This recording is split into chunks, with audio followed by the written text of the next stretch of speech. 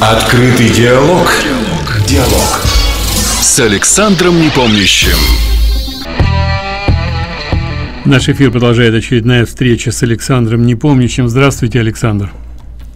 Добрый день, здравствуйте. Ну что, начнем э, вот с чего. В Америке все больше наблюдается рост антисемитизма причем левого такого, исходящего от сторонников демократической партии, от сторонников левого движения. Возникает вопрос, сможет ли новое правительство Израиля защитить американских евреев? Да, защитить как-то, вступиться, как-то выступить против наступления. Действительно, вы правы, Сергей. Э, похоже, уже и дня не проходит без очередного сообщения о новом возмутительном нападении левых на евреев в Америке. И здесь я процитирую Кэролин Глик, известную израильскую журналистку американского происхождения, которая просто приводит статистику, ссылаясь на американскую прессу. Буквально на этой неделе фургону, продающему готовую еду, да, ну, очень распространенная вещь в городах американских, запретили участвовать в фестивале вот такой этнической уличной еды в Филадельфии за то, что тот продавал израильскую уличную еду и вообще принадлежит израильскому еврею. Вот так вот просто. Израиль вне игры. На параде лесбиянок в Чикаго была опубликована реклама мероприятия, на которой была изображена женщина, стоящая в машине и сжигающая американские и израильские флаги. Я напомню, речь идет не об Иране, не о Корее, не о странах каких-нибудь э, победившего ислама. Речь идет о американских штатах. И в целом, по данным сообщества, э, э, во время недавней войны Израиля с Хамасом операции «Страж стен» американские евреи подверглись 193 э, нападениям с применением насилия. Вот такая статистика страшная. Еще 17 тысяч словесных оскорблений в интернете зарегистрировала антидефамационная лига. И жестокие нападения, конечно, не прекратились, э, когда Израиль и Хамас уже достигли прекращения огня. И вы совершенно правы, что правительство Израиля в этой ситуации следовало бы сказать или сделать что-то подобающее в связи с такими, прямо скажем, ужасными событиями. Но, к сожалению, все признаки указывают на то, что новое правительство Лапида Беннета устроено так, что по определению своему не будет способно бороться с проблемой юдофобии в США. Но на первый взгляд кому-то может показаться, что все должно было быть ровно наоборот. Министр иностранных дел и заместитель премьер-министра Еропит, который, по сути, контролирует все аспекты деятельности нынешнего правительства, будучи лидером левого блока, составляющего 75% коалиции, он должен был бы быть естественным партнером американского еврейства. Подобно большинству американских евреев, вот вид уже давно отождествляет себя с демократами и либеральными течениями в иудаизме. И в первый же день своего пребывания в должности министра иностранных дел и сменного премьер-министра Лапид заявил, что восстановление связи Израиля с демократами и американскими евреями является главной целью его. Мы об этом говорили как раз в прошлый раз. С такими приоритетами Лапид, казалось бы, должен был бы очень хорошо подготовлен к подобной битве за интересы американских евреев. Но, увы, есть два, скажем так, железобетонных буквально препятствия, которые помешают ему сделать что-либо полезное и нужное в этом направлении. Первое препятствие — это сама Демократическая партия США, так как она сейчас выглядит, а второе — это его собственная коалиция. Чтобы понять, в чем проблема Демократической партией, стоило бы взглянуть на организацию, которая была основана два года назад, чтобы остановить захват Демократической партии США изнутри красно-зеленым марксистско-исламским альянсом прогрессистов — так вот, была создана организация «Демократическое большинство за Израиль», ДМФИ. Была основана она социологом и политическим гуру Лапида Марком Мелман, Мельманом. Мельман основал ДМФИ в ответ на избрание в Конгресс в 2018 году, три года назад, так называемого авангарда, вот этой вот команды Амар, э, Талиб, э, Акасио, Кортес и еще четвертая там есть, кажется. Э, и также на фоне усиления позиций сенатора Берни Сандерса э, как лидера президентских праймериз от демократов перед выборами 2020 года.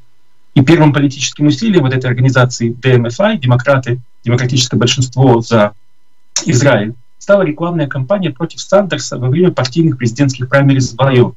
Ну, то есть это как бы была такая, это умеренные левые, более-менее аналогичные нашему, так сказать, Лапиду, которые э, отнюдь не выступают за уничтожение, скажем, Израиля.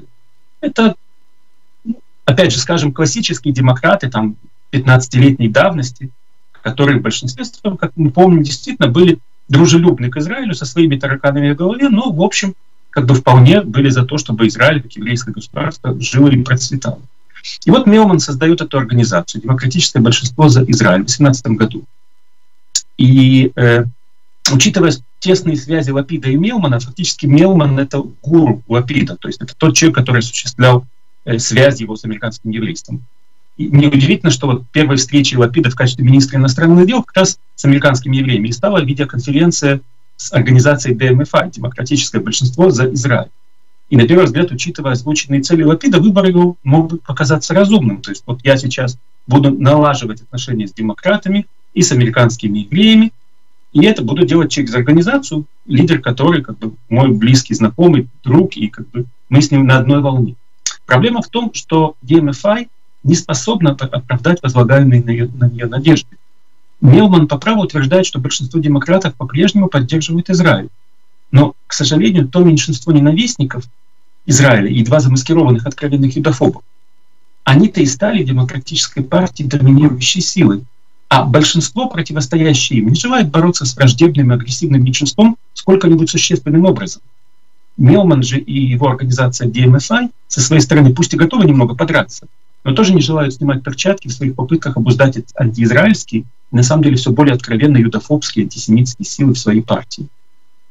И это весьма безрадостное положение вещей стало совершенно очевидным в начале июня, когда Ильхан Омар во время войны Израиля с Хамасом сравнила Израиль и США с Хамасом и Талибаном. И несмотря на протесты, вызванные этим возмутительным заявлением, спикер Палаты представителей Нэнси Пелоси отказалась осудить или отчитать Омар. Вместо этого Пелоси похвалила Омар за сделанные ею затем разъяснения, заметьте, не извинения, а именно разъяснения, которые были как бы вместо оправдания вопиющих замечаний. Она разъяснила, что она имела в виду, и Пелоси ее за это похвалил. И буря протеста против возмутительных высказываний Амар, она включала письмо с осуждением, подписанное 12 еврейскими законодателями из числа демократов, да, 12 э, еврейских э, представителей Демпартии э, в Палате представителей подписали это письмо. Но вместо того, чтобы встать на сторону своих еврейских коллег, сторонники Амар и другие ненавистники Израиля во главе с Александрией Акасией Кортес атаковали этих еврейских законодателей, своих, так сказать, однополчан, союзников, не каких-то тремпистов там, и, и, и атаковали как расистов за критику Амар. Амар у нас цветная мусульманка, и поэтому критиковать ее нельзя по определению. Ну а большой босс, то есть Пелоси, также встала на сторону Омар и ее комрадов по альянсу красно-зеленых против евреев. Э, в итоге журнал «Политико» подытожил реакцию демократов на этот последний демарш Омар таким образом, я цитирую. Демократы показали, что им все более комфортно поддерживать Омар, особенно когда та разносит израильское правительство в духе противоречащим давним двухпартийным традициям в Вашингтоне, понимаете? И эта все более дружелюбная Камар позиция ясно показывает, что сдвиг ее партии в отношении роли Америки на Ближнем Востоке куда больше, чем просто краткосрочное недовольство от недавнего 11-дневного конфликта между Израилем и боевиками палестинских арабов в Газе. Иными словами, Мелман совершенно прав в том, что проблема с демократической партией заключается в подъеме там красно-зеленого альянса, ислама марксистского. Но только нет у Мельмана сил или, откровенно говоря, средств победить их. И вот Пит прав в том, что для Израиля важно иметь хорошие связи с демократами, американскими евреями. Конечно же, важно. Как же не может быть важно? Но и у Израиля нет возможности изменить складывающуюся политическую реальность. Иначе говоря, отношения Демпартии с Израилем продолжит портиться не потому, что Израиль делает что-то неправильно, а потому что доминирующий в партии Красно-Зеленый альянс больше не намерен скрывать своей юдофобии, понимаете?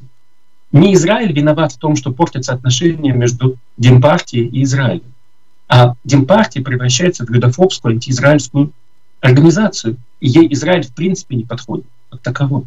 Стратегия Лапида по обеспечению и укреплению отношений между Израилем и США не сможет сработать, несмотря на близость Лапида с Мельманом и его э, как бы готовность идти на поводу у всех желаний решений демократической партии. Потому что она основана на неверном предположении, будто бы проблемы с демократами связаны с, с тем, что вот э, бывшего премьер-министра Бенемина Натаньяу отождествляли с республиканцами. Мол, Натаньяу дружил только с республиканцами, и поэтому демократы обиделись. И Натаньяу критиковали как завзятого республиканца лишь потому, что демократы просто хотели оправдать свое нежелание противостоять таким, как Амар, Акасио Кортес, а до них Бараку Обама. То есть на Натаньяу обвиняли в том, что он дружит с республиканцами, и поэтому демократы обижены на Израиль. Но проблема была гораздо глубже.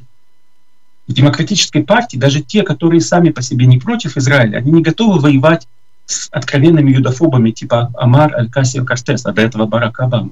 И поэтому они предпочитают валить все на Натаньяу. И теперь Лапиду не изменить этой ситуации. Теперь даже когда Натаньяу ушел с поста, а у власти находится предвзятый демократ Лапид, демократы по-прежнему не желают им противостоять, вот этим вот самым юдофобам своей партии. И поэтому, как отметил политику, власть красно-зеленых продолжает и продолжает расти. В свое время Натаньяу понял, что лучший способ заручиться и расширить поддержку Израиля со стороны США — это работать с теми людьми, которые действительно способны добиться поставленных целей. И больше всех в этой области сделал, конечно, пастор Джон Хаги. Хаги основал и возглавляет объединение «Христиане за Израиль». Это крупнейшая и наиболее политически влиятельная произраильская организация в США.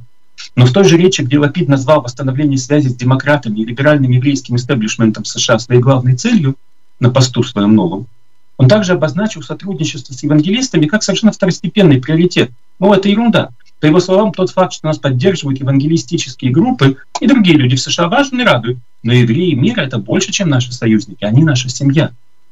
И вот тут все это подводит нас к второму препятствию, которое помешает правительству Лапида Беннета эффективно противостоять нарастающему в США антисемитизму, исходящему от красно-зеленого альянса внутри Демпартии. В то время как 12 еврейских законодателей демократов были готовы подписать письмо, осуждающее Омар за то, что она сравнила Израиль с Хамасом, другие еврейские законодатели демократы, напротив, поддержали Омар против своих еврейских коллег. Потому, э, подобно тому, как, вот, э, э, как у бывшего лидера британской лейбористской партии Джереми Корбина тоже были свои еврейские группы, и они служили своего рода фиговыми листами, прикрывающими его антисемитизм. И вот теперь прогрессистские еврейские группы, их лидеры, служат фиговым листом для Омар, для Сандерса и для их комрадов. Некоторые, такие как the Ark или If Not Now, делают это присоединяясь к антисемитам и присоединяясь к делегитимации прав Израиля на существование.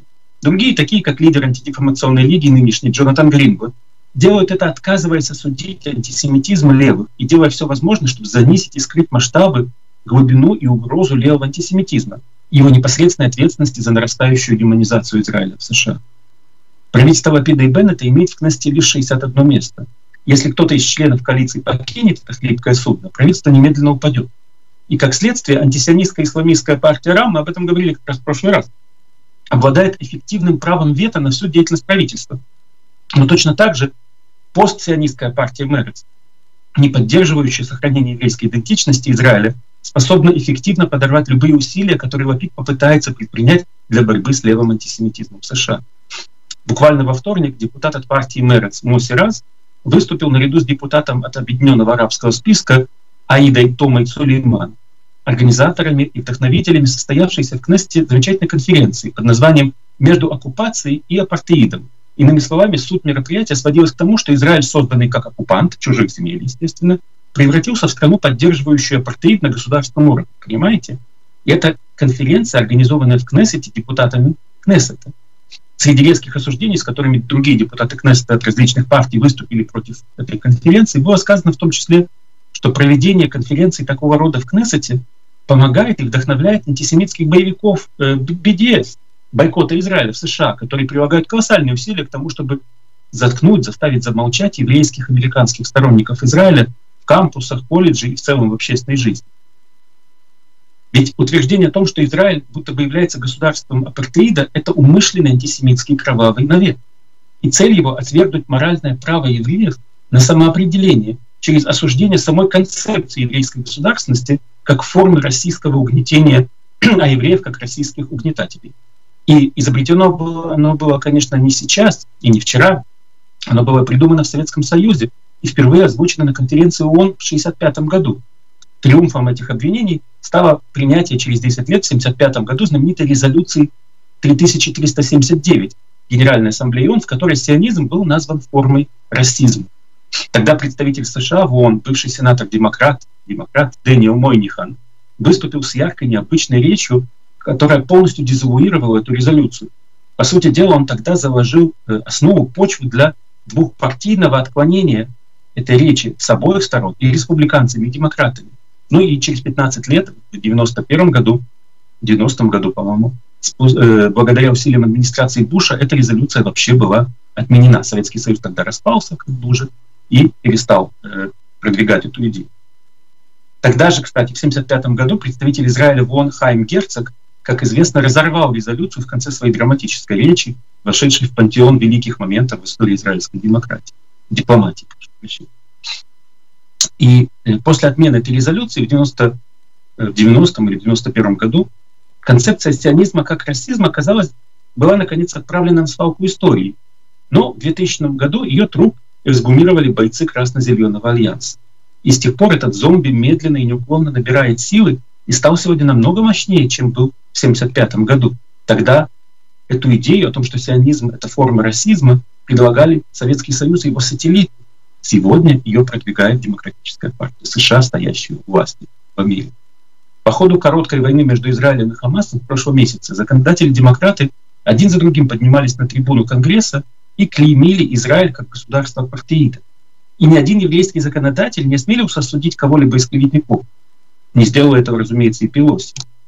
А на этой неделе член коалиции Лапида Беннета выступил одним из организаторов конференции в Кнессете, которая полностью поддержала эту гнусную антисемитскую клевету.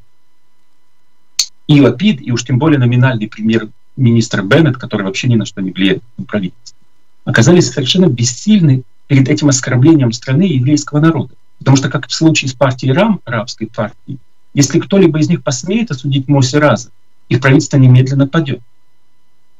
Многие американские евреи сегодня как бы делятся своим как бы, состоянием когнитивного диссонанса, шока и растерянности, потому что на протяжении четырех лет президента Дональда Трампа. Их организационные и интеллектуальные лидеры кормили их постоянной диетой ненависти к Трампу и говорили, что весь антисемитизм исходит от сторонников Трампа. А сам Трамп, Трамп который величайший друг Израиля в Белом доме и дед еврейских внуков, он главный ненавистник евреев, понимаете? И несмотря на то, что подавляющее большинство антисемитской активности в университетских городках исходило от левых, а большая часть антисемитского насилия совершалась чернокожими американцами и арабами, еврейские лидеры убеждали американских евреев, что опасность исходит от правых политических сил, и она полностью исчезнет, как только демократы вернутся к власти. И вот Трамп ушел, хорошие парни вернулись к власти, но эти хорошие парни поддерживают антисемитов в Конгрессе, ничего не делают против антисемитов на улицах, нападающих на евреев. Потому что антисемиты сами демократы, и они важнее политикам-демократам, поскольку их куда больше, чем евреи, и они теперь намного влиятельнее. Теперь же вместо того, чтобы поддержать этих евреев при дружественном демократам правительстве Лапида Беннета, Израиль, оказывается, точно так же не способен помочь, как Мелман не может нам помочь в противостоянии красно-зеленым своей партии. Но при этом, по крайней мере, Мелману не нужна поддержка антисемитских J Street или Jewish Voice for Peace. Он сам по себе. А Лапид и Беннет просто не смогут продолжать править без Моси Раза. Поэтому положение Лапида Беннета даже еще более печально, чем позиции, слабые позиции остатков друзей Израиля, пусть даже таких условных друзей, как Милман в Демократической партии США.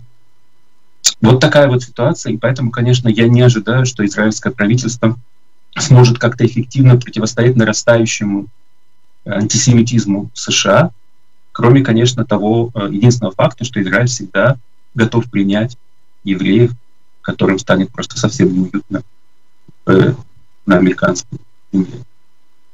Я Сергей. напомню, телефон в студии 847-400-5200. Если у вас есть вопросы к Александру относительно того, что происходит в Израиле, или относительно того, что происходит в Америке по отношению к евреям, пожалуйста, звоните, задавайте 847-400-5200. Ой, тут у меня где-то был вопрос э, на YouTube. Сейчас я попробую найти. Да, у нас где-то минуты две, да, есть до перерыва. Да, еще пару минут, пару минут есть. Ох, много комментариев, mm-hmm. трудно найти. А, когда... Ну, давайте примем звонок, а я поищу вопрос на YouTube. Добрый день, пожалуйста, вы в эфире. Э, добрый день, Сергей, добрый день, Александр. А, то, что вы сегодня сейчас сказали, Александр, а, практически вы ничего не сказали про действующего премьер-министра. Лапид, это понятно, да, это э, так сказать, я вот это даже себе не представляю, если когда он, если, если он дойдет до власти, потому что его политика с увешиванием э, ЛГБТ флага с, вместе с израильским флагом повторяет то, что делают ультралевые в Америке, и все остальное, и все, что он говорит, это, это неприемлемо для вашего государства, вы не можете себе позволить. Ну а что, же, что вы скажете о, на данный момент о правлении э, вашего э, премьер-министра, понимаете? И, знаете, я немножко хотел бы да, поспорить, или э, Сергей задал вопрос насчет, э, или Израиль должен помочь нам. Э, я считаю, что он не должен помочь нам. Морально поддержать, да, помогать должны мы, это наша обязанность. Так я считаю, это мое личное мнение. Что нам, нам может, что мы должен помогать таким, как Берни Сандерс и, и, и, и другой левой, а, а, мрази, к сожалению, еврейского происхождения? Ни в коем случае он не должен морально поддержать нас, да, что мы правильно делаем продолжаем наше дело. Спасибо большое, я вас послушаю. Спасибо большое за вопрос. Ну, давайте по поводу Беннета сказать что-либо сейчас пока еще не очень можно. То есть прошло всего две недели. И по большому счету мы знаем, что политикам всегда дают 100 дней до того, как начинают критиковать и, и, и э, смотреть, как у них что получилось. Говорить о том, что успел за две недели Беннет, пока действительно ни, ничего не успел. Но в конце концов всего лишь две недели прошло. Но мы говорили о том, что изначально его позиция очень слабая он в коалиции обладает фактически 10%. Представляете, премьер-министр, у которого только 10% коалиции в руках. Остальное это арабская исламская партия РАМ и левый блок. Ну, там есть еще, конечно, САР, который, если добавить его, так, может быть, увеличится до э, э, не одной десятой уже, там, а чуть больше э, одной э, пятой, может быть, но э, максимум одной шестой. Дело не в этом. Дело в том, что он действительно мало что может проконтролировать, и такое ощущение, что его полностью устраивает позиция председателя. То есть вот он, он формальный глава правительства, формальный премьер-министрик такой, и ему это самое главное. Ну, еще, конечно, уничтожили Натаньяу. Натаньяу мешал ему. Это была, стала личной как бы навязчивой идеей и для него, и для Сара, и для Либермана. Натаньяу стал их личной задачей, как бы уничтожение политической Натаньяу. Теперь они этого добились, и все остальное как бы, ну, есть люди, которые еще считают, что Беннет что-то постарается сделать, и он еще покажет, что он хороший, может быть хорошим премьер-министром. Я на это, к сожалению, не рассчитываю. И поэтому, с одной стороны, рано еще говорить о том, что успел или не успел сделать Беннет и как у него это получилось. С другой стороны, по моим оценкам, ничего хорошего ожидать от него не стоит. И что касается, кто кому должен помогать, действительно, это хороший вопрос. Я буквально в одну минуту постараюсь уложиться, прежде чем мы уйдем на перерыв. Безусловно, когда Израиль был создан, то американская еврейская община была неизмеримо сильнее и влиятельнее. Фактически именно она повернула политику США, именно она во многом повлияла на то, что США стали защищать и помогать Израилю, несмотря на много всяких моментов, которые пугали американских политиков, начиная от социализма, сионистов и, и кончая геополитическими соображениями. Но со временем ситуация стала меняться. Еврейская община США, с одной стороны, ассимилирует и э, как бы становится меньше. И сегодня для того, чтобы ее сохранить как бы условно в нужном количестве, подсчитывают всех, буквально даже кошек у реформистских евреев, и подсчитывают людей, которые формально, на самом деле, как бы, ну да, они потомки евреев, но они себя евреями не считают, они, может быть, они не, не стыдятся своего еврейского, как бы, своего происхождения, но они уже, они гораздо больше мере американцы, э, нежели, так сказать, и, и не чувствуют себя как, как-то связаны, по большому счету, с еврейским народом. Хотя, да, конечно, это выгодно часто для бизнеса, хорошо для бизнеса и для связей, входить в синагогу, какую-то какую э, комьюнити, да, общаться там с важными людьми. Но в итоге мы видим, что американское еврейство как таковое, в общем-то, оно распадается, исчезает. Говорят о том, что еще поколение, даже меньше, чем поколение, оно просто перестанет существовать. Ну, останутся, конечно, религиозные группы, какие-то религиозные группы, но по большому счету вот то влиятельное еврейство, о котором мы говорили, пик которого, видимо, влияние пришелся на 60-е, 70-е годы, такого больше не будет. И как раз наоборот, Израиль расцвел, Израиль встал на ноги. Израиль сегодня большое, условно, сильное и влиятельное государство. Несмотря на те э, э, как бы перетурбации, которые сейчас происходят. И он вполне может э, помочь и защитить американских евреев, даже политически сказать, ребята, вы там что-то уж слишком э, загоняете наших братьев, пожалуйста, не мучайте их. Э, многие действительно еще не осознали это, это перемены ситуации. Многие все еще живут 70-ми годами, когда американские евреи посылали много денег в Израиль, позволяя Израилю как-то выживать. Сегодня ситуация обратная. И сегодня э, пожертвования американских евреев, которые Израиль с удовольствием и с благодарностью принимает, в общем-то, сравнимы с пожертвованием, которые делают и сами израильские евреи для своих ну, целей, для армии, для нуждающихся людей, для каких-то проектов интересных. Поэтому э, я действительно думаю, что э, вопрос, изначально поставленный Сергеем, был правильным. Что может Израиль сделать для того, чтобы защитить евреев Америки, оказавшихся сейчас в ситуации очень неприятной? И я боюсь, что, э, к сожалению, при с тем правительством, которое мы сейчас имеем, сделать он может очень мало. Точно так же, как друзья Израиля демократической партии уже не влияют на откровенное юдофобство этой партии.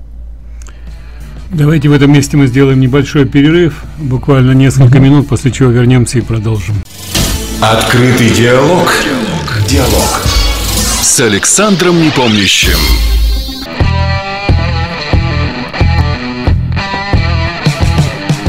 Продолжаем нашу программу. Напомню, телефон в студии 847-400-5200. И пока мы не перешли к следующей теме, у вас есть возможность дозвониться в студию и задать вопрос Александру. Добрый день, пожалуйста, в эфире. Алло, здравствуйте. Здравствуйте. Вот э, в течение пяти лет э, Демпартия, э, FBI, CIA, Генпрокуратура, Верховный суд доказывали то, что э, они совместно с э, ФСБ России, Ираном, Китаем сделали так, чтобы устранить э, нашего президента Трампа. И с первого дня э, своего пребывания у власти Байден издал здесь 47 своих указов и тем самым доказывает то, что он является слугой да, даже не двух, а трех господ, но только не Америки. Вот, и уже много месяцев ведутся переговоры в Вене о Э, э, создании э, соглашения ядерного между Ираном и Америкой на условиях Ирана. Вот. И у вас тоже спецслужбы и левые как-то все совместно действуют.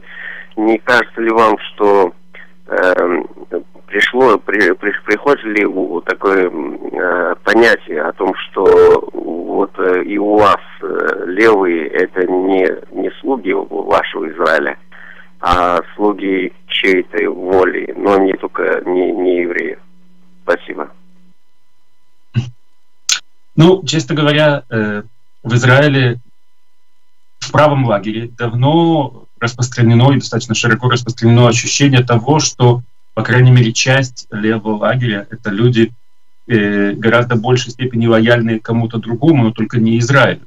Безусловно, существуют левые, так сказать, э, порядочные и заблуждающиеся, но э, в, да, в нашей сегодняшней ситуации совершенно понятно, что пришедшая к власти коалиция — это ставленники Демократической партии США. Вы намекнули на то, что Демократическая партия США сама играет какую-то странную игру, которой э, Китай, Россия, Иран, возможно, э, в гораздо большей мере приоритете у, э, у нынешнего, так сказать, демократического аппарата, истеблишмента, нежели Америка.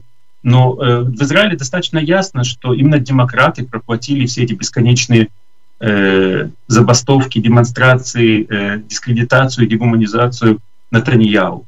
И они стояли через Ихуда Барака который сейчас находится в США, и который связан с Эпштейном, в свою очередь, и там своя отдельная грязная история. Но, э, да, безусловно, демократы сумели продавить, купили такое количество предателей, чтобы вот как, как это случилось с Беннетом и Саром, чтобы в итоге создать коалицию, несмотря на то, что большая часть э, израильского народа поддерживала именно Натаньяу. Да, это так. Давайте попробуем принять следующий звонок. Добрый день, пожалуйста, в эфире. Добрый день. Я хотела вот узнать, я, может быть, пропустила, а, закон о гражданстве отстояли, что а, если араб хочет э, жениться на а, израильтянке, чтобы он становился, вернее, чтобы он не становился гражданином Израиля. Давайте я объясню немножко вот так кашу эту сниму. Дело в том, что в Израиле, как в любом другом государстве, когда иностранный гражданин женится на гражданине Израиля, то, естественно, гражданство получает тоже. И это, в общем, нормальная практика, абсолютно понятная. Проблема состоит в том, что э, после соглашения Осло, после начала 90-х годов, это стало, не даже не сказать лазейкой, а таким вот огромным пробоем через который потекли в Израиль э, десятки, фактически сотни тысяч э, арабов из Газы, которые женились на э, арабах или арабках э, гражданах Израиля и, соответственно, тоже начинали получать гражданство. И Израиль сказал, окей, ребята, как бы мы все понимаем, демократия, гуманитарные э, случаи и так далее, и так далее. Но так не пойдет. То есть, таким образом, у нас скоро миллион арабов, живущих в Израиле, переженится еще с миллионом, живущим в Газе. И, и все, и, так сказать, притащит 2 миллиона, потом они еще 2 миллиона притащат сюда. Не пойдет. И э, был введен даже не закон, а как бы подзаконный акт, который э, как бы на закон о распространении гражданства накладывает ограничения. Если речь идет о гражданах палестинской автономии, то они гражданство не получают. Они получают э, право жить в Израиле, право работать, право получать э, э, все, так сказать, необходимые э, медицинскую службу, э, обслуживание и прочее, прочее, прочее, но гражданства у них нет. Другими словами, голосовать они не могут. И в случае бедуинов, которые берут себе по 10 жен, например, из газа, это очень актуально. То есть, на самом деле, Израиль это влетает в копеечку, потому что каждая такая жена оформлена как мать-одиночка со всеми своими бесконечными детьми. И э, только как бы получая пособие на своих э, жен, человек может вообще не работать э, и зарабатывать, получать колоссальные суммы, сравнимые с зарплатами в Хатике, гораздо выше но, но по крайней мере, гражданства они не имеют. Но не имеют они благодаря тому, что каждый новый Кнессет продлевает вот такой подзаконный акт. Теперь ситуация следующая. Нынешнее правительство э, не имеет большинства, чтобы продлить этот подзаконный акт. Потому что э, и партия Мерец, вот Мосфераз, и партия Рам, естественно, исламская, они говорят, нет, мы это поддерживать не будем. Мы хотим, чтобы арабы получали гражданство когда им говорят, ну, ребята, так Израиль перестанет быть еврейским, говорят, ну, так естественно, ради этого и старались. То есть, как бы, все, все совершенно открыто, на поверхности. Э, Лапид, разумеется, поддержал бы такой проект, потому что он совершенно, как бы, он не, не из тех, кто хочет, чтобы Израиль перестал быть еврейским, по крайней мере, не так откровенно. Но большинства у них нет в коалиции. Они просят оппозицию, чтобы оппозиция поддержала этот закон. Оппозиция говорит, ребята, мы, конечно, поддержим, но раз уж такое дело, вы должны, э, давайте примем большой хороший закон, который это дело раз и навсегда решит. Пусть будет, сделаем закон, который решит эту проблему таким образом, чтобы больше не приходилось продлевать этот подзаконный акт каждые 4 года. Но на это коалиция пойти не может, потому что это будет выигрыш для оппозиции. То есть сейчас, э, на следующей неделе, в воскресенье, этот закон будет вынесен на обсуждение в комиссиях Кнессета. Э, насколько мы понимаем сейчас, э, Элькин э, в воздухе вертелся как волчок для того, чтобы э, подкупить разных депутатов Кнессет, в том числе арабских, чтобы они не голосовали, чтобы они ушли, чтобы они не присутствовали. Дошло до того, что они даже пытались подкупить религиозные партии, но не Ликут, так религиозные партии. Типа, поддержите нас, мы вам денег дадим. Помните, так сказать, клич Либермана, что не дадим религиозных. В итоге они дали бедуинам 50 э, миллиардов гораздо больше, чем получали все религиозные партии вместе взятые. Теперь они хотели приплатить религиозным партиям еще, чтобы только те поддержали и не дали как бы коалиции упасть грязь лицом, то есть э, провалить нужный, полезный закон, потому что, так сказать, коалиция такая, какая она есть. Но религиозные партии сказали, нет, нет, мы в эти игры не играем. Давайте вот с Ликудом договаривайтесь о проведении большого, хорошего закона, чтобы это, была, э, это был выигрыш оппозиции, а не коалиции. Тогда посмотрим. Или разваливайтесь. Собственно, задача это главное, чтобы эта коалиция Э, развалилось как можно быстрее. И это гораздо важнее даже, чем будет или принят или не будет принят этот подзаконный акт в данный момент.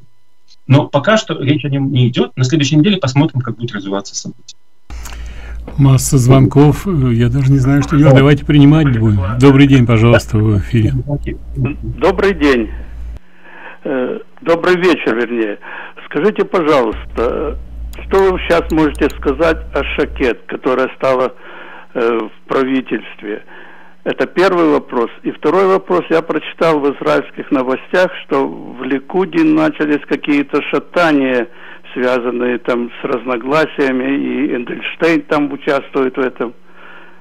Можете ответить на эти вопросы? О, да, конечно. По поводу Шакет. Шакет точно так же, как все остальные ренегаты и предатели, сейчас с низким профилем. То есть они стали участь, соучастниками предательства правого лагеря. И э, пока что э, многие надеялись, что теперь они будут оправдывать свое предательство тем, что будут делать какие-то полезные, важные э, для Израиля вещи. Но ничего такого не происходит. Но опять же, прошло всего две недели, как бы, и за эти две недели, может быть, они не могли успеть чего-то хорошего. Но ни Беннет, ни Шакед, э, э, ничем себя хорошим пока не зарекомендовали. И, собственно, как мы уже объясняли, и не могут, потому что их доля и влияние в правительстве настолько ничтожны, что говорить там не о чем. Что касается Ликуда, действительно, поскольку Натаньяу наконец-то к радости всех врагов Израиля проиграл и ушел в оппозицию, то в Ликуде тут же сразу зашебуршились все те, кто хотят его сместить, но как бы по-честному. То есть не так, как, э, скажем, Стар вышел из Ликуда, предал Ликуд э, и создал с левыми коалицию, а хотят победить его внутри партии. Это вполне легитимно, потому что Ликуд, по сути дела, остался последней израильской партией, в которой существуют праймерис и выборы. Все остальные партии построены вокруг одного хозяина. Вот есть Беннет, у него там все его шестерки, и он их сам назначает. Есть Либерман с точно таким же как бы аппаратом, есть Сар с таким же аппаратом, Лапид с таким же аппаратом. Ликуд – партия по-прежнему демократическая, в которой Натаньяу, если он хочет быть главой э, партии, соответственно, кандидатом в главы правительства, он должен победить на выборах. Есть люди, которые пытаются это оспорить в рамках, так сказать, честного ликудовского внутрипартийного выбора. И в этом контексте Эдельштейн, э, Баркат, да и Кац тоже намекнули, что они, в общем, были бы готовы побороться за это место. Вот. Э, в этом нет ничего э, как бы э, плохого, наоборот, это показывает, что Ликуд по-прежнему живая партия, и в ней, так сказать, бурлит жизнь. Насколько велики их шансы, я думаю, что невелики, потому что Натаньяу настолько отличается по масштабу своей личности политической от всех остальных кандидатов, что любые честные праймерис э, дадут ему уверенную победу. Но это не значит, что таких э, праймерис не нужно проводить и не нужно как бы э, показывать, что Ликуд по-прежнему является демократической партией, где общество и члены партии решают, кто будет возглавлять их партию. Спасибо, Спасибо Александр. А теперь давайте, а, если можно, ну, давайте примем еще звонок. Добрый день, пожалуйста, в эфире. Э, добрый день, господа. Я извиняюсь, что звоню второй раз, но просто вы сказали одну фразу, которая меня страшно, страшно пугает. И, и вы, вы поймете почему. Вы сказали, что многие американские евреи становятся ну, больше американцами, чем это. Э, не, потому, вы сказали сущую правду, к сожалению, тогда. Но вы помните, что не так много лет, 80 лет тому назад, немецкие евреи, которые сделали огром, очень много для Германии с учеными, ну, можно перечислять, э, возьмите любую энциклопедию, почитайте. Они себя считали тоже больше немцами, чем э, евреями. И чем это для них закончилось? Если вы меня спросите, если такая ситуация может повториться, я считаю, что может. Мне об этом сказал, кстати, американский еврей, участник войны в Корейской войне 40 лет тому назад в Чикаго. А вот как вы считаете, такая ситуация может произойти в Америке? Я, интересно, мне интересно ваше мнение. Я вас послушаю. Спасибо. Ну, вы знаете, мы живем в удивительное время, когда как бы происходит все, что раньше казалось немыслимым. Мы видим, как э, альянс марксистов и исламистов захватил э, власть в, в Америке, вопреки всему, вопреки любому здравому смыслу. И э, то, что происходит сейчас в отношении э, консервативных американцев, оно немыслимо. То есть людей преследуют, людей лишают работы за какие-то слова, которые доходят до абсурда. То есть мы когда-то смеялись над тем, что такое происходило в, в Сталинском Советском Союзе, или там в Северной Корее, или в каких-нибудь еще тоталитарных э, режимах. Это происходит сейчас в Америке, может быть, не те масштабы, то есть по-прежнему все-таки в Америке э, не хватают массово людей, не отправляют в концлагеря. Там и здесь выхватили одного, лишили работы другого, устроили обструкцию третьему. Вот Джулиани не лишили лицензии, да, только заморозили лицензию. Ну, Джулиани человек самодостаточный, я думаю, что он не умрет от голода, лишенный лицензии. Это унижение. Но пока что как бы его не заставили прилюдно каяться и, и, и не э, казнили на площади.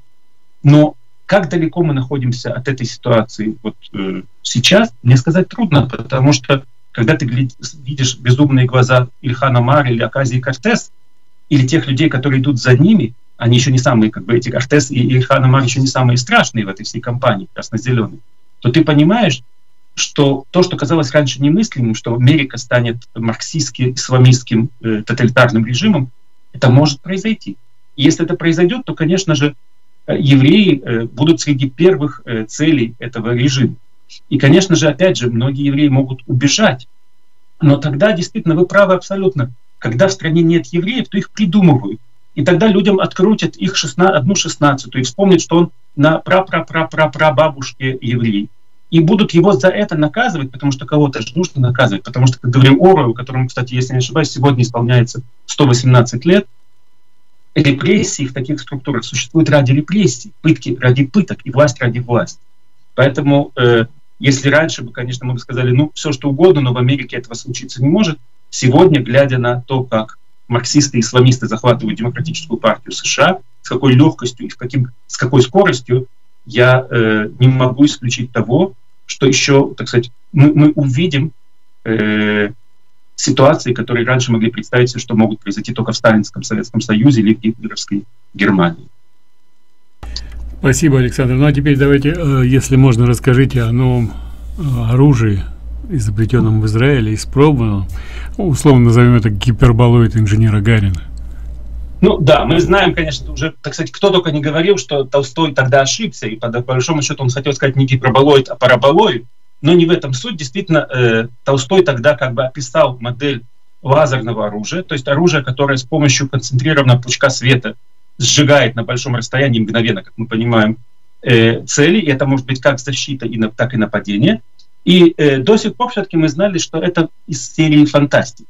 Но вот э, пресс-служба э, армии обороны Израиля действительно разрешила публикации информации о завершении серии экспериментов по уничтожению целей в воздухе с помощью лазерного оружия.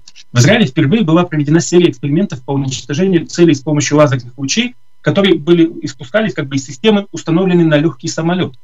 Этот самолет Cessna, мне кажется, был оборудован системой энергоснабжения, необходимой для создания лазерного луча, а также системой слежения и датчиками, которые позволяли ему обнаруживать беспилотные летательные аппараты и их уничтожать. И вот в серии экспериментов с использованием лазерного луча было уничтожено 10 беспилотников, на которых просто вот эта система, стоящая на самолете, наводила э, луч и разогревала беспилотник до состояния, когда он просто плавился и падал вниз. Это, надо сказать, действительно инновационная и совершенно революционная разработка, первая такого рода в мире. На самом деле известно, что в мире есть технологические гиганты, которые занимаются разработкой лазерного оружия. Понимаете, в современном мире, на самом деле, сама идея, как бы, идеи витают в воздухе, идеи все знают, ты попробуй, поди сделай. Вот иранцы уже сколько лет пытаются бомбу сделать ядерную, которую теоретически, теорию ядерной бомбы знает сегодня любой любознательный шестиклассник, у которого есть вход в Google. Но попробуй сделай. То же самое и здесь есть технологические гиганты в мире, которые пытаются создать лазерное оружие. Но ни одно из них, ни одна из них, ни одна из таких компаний пока не продемонстрировала столь успешной способности поражения целей с помощью относительно небольшой лазерной системы, установленной на легком самолете. Еще лет 10 назад, на самом деле, были созданы лазерные установки, э, которые как бы можно было поставить на Землю. Они были химические, то есть они очень такие громоздкие и очень э, вредные с точки зрения экологии. Они стреляют но очень дорогая получается. Выстрел получается очень дорогой. Прорыв технологический именно в том, что эта маленькая система работает от электричества, которое легко собрать как бы в аккумуляторы, грубо говоря, и поднять воздух. Не нужно тащить за собой какую-то тяжелую химию. И э, это легко возобновить. Подключился к розетке, грубо говоря, и возобновил электри- заряд. И э, еще один момент, что это установлено на самолете, а значит, если ты хочешь поразить э, цели в воздухе, тебе не нужно пробиваться лучом лазерным через атмосферу, через облака, через какие-то тяжелые погодные условия, которые, как мы понимаем, рассеивают луч, и, в общем-то, снижается вся эффективность, иногда вообще не работает. И вот американская компания Boeing, например, много лет занимается разработкой сверхмощного лазера, который можно было бы установить на транспортный самолет. Э, и есть лазер, э, наземные лазерные системы, о которых, в общем, только что я говорил. Но э, именно в Израиле был достигнут прорыв в сфере того, что использовать электрическую, а не химическую энергию. И где-то полтора года назад удалось преодолеть вот одно из самых фундаментальных ограничений помехи, создаваемой атмосферой. И все это перенесли на маленький самолет, и вот получилось то, что получилось. И э, сегодня, конечно, э, мы понимаем, что установка лазерной системы на самолет, а не на Земле, это э, несколько преимуществ. Можно перемещать быстро с места на место, можно использовать для защиты на разных участках, можно добиться раннего уничтожения цели, например, взорвать ракету еще на стадии ее разгона, там, допустим, в плане Хамаса и Газы. Да? И кроме того, конечно, можно направлять такой самолет для защиты наземных войск, сражающихся на территории противника. И вот уже две ведущие военные э, высокотехнологические израильские компании Эльбит и Рафаэль сообщили, что совместно разрабатывают лазерную систему, которую можно будет устанавливать на разных транспортных средствах. Вот. И также можно понять из публикации Министерства обороны, что в перспективе рассматривается создание и лазерных систем, способных поражать тяжелые ракеты. То есть такой лазер, который сейчас есть, он мощный для того, чтобы уничтожить беспилотник, но сбить с курса, прожечь такую ракету, как СКАД или Шихаб иранскую, это все-таки нужна мощность побольше. Но э, по оценкам экспертов, э, вот такое лазерное боеспособное оружие станет реальным уже через 2-3 года. То есть пока что успешные, э, успешный эксперимент, через 2-3 года реальное боеспособное лазерное оружие. И, конечно, его можно будет использовать и для обороны, и для наступления. То есть в Израиле, в первую очередь, это актуально для прожигания ракет из газа. Э, это быстро, это дешево, это достаточно надежно. Ну, а, так сказать, вообще, конечно, это может быть и наступательное оружие. Так что, да, действительно, гиперболоид или параболоид инженера Гарина стал э, актуален благодаря израильским военным разработкам. Сергей. Спасибо, Александр. Я не знаю, наверное, времени не остается обсудить тему э, желания Байдена отказаться от суверенитета Израиля над Голанами. Ну, буквально можно уложиться в одну минуту. Если у нас есть одна минута, Давайте то попробуем. я попробую это сделать. Давайте попробуем. Дело в том, что в свое время еще Обама намекнул, э, прямо намекнул Израилю, что Голланы нужно отдать. Натаньяу что он сделал тогда, как он всегда поступал Натаньяу, он провел заседание кабинета министров на голландских высотах, сказал, Голланы никогда никому больше Израиль не отдаст. И в конце концов, под влиянием Натаньяу Трамп признал суверенитет Израиля на голландском плато. Байден стал намекать, что он хочет отказаться от этого э, признания, как он отказывается от всего, что сделал Трамп. И э, были заявления Блинкина, который говорил, ну да, пока Асад и Иран, Израиль должен там находиться, но потом посмотрим, как будет. И вот э, вчера э, американский консервативный журнал, э, не журнал, издание Free Bacon, конечно, его знаете, он написал, что есть источники в Госдепе, которые намекают на то, что э, э, Байден скоро отменит признание, э, сделанное Трампом, суверенитета Израиля на голландском плато. Вот. И, конечно же, в Израиле поднялся страшный шум. То есть все перепечатали сообщения Фрик Бекона. И шум продолжался в течение всего сегодняшнего дня. И, наконец, Газдеп дал такое не очень внятное, но все-таки однозначное заявление, что, мол, мы пока ничего не меняем. Пока. Да. То есть пока никаких изменений нет. То есть, по сути дела, американские правые вынудили э, Байдена сейчас признаться, что даже если они хотели это сделать, то еще не сейчас. Ну, к сожалению, жалко, что другие вопросы так легко не решаются. Но огромное спасибо ребятам из Фрей Бейкона и успехов им. Действительно, вы сняли еще одну достаточно серьезную проблему, которая чуть не нависла над головой Израиля. Александр, огромное спасибо и до встречи в следующий раз. До следующий раз. Доброго.